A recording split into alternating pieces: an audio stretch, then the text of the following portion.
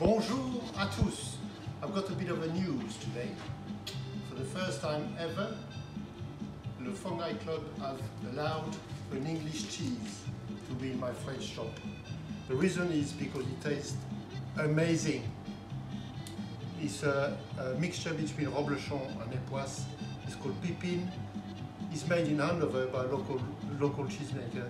It is beautiful, so come and get it.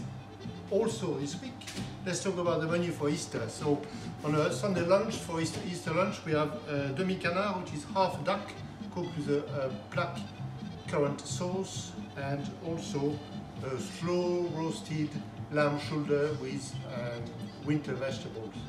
Absolutely beautiful, perfect for Easter lunch.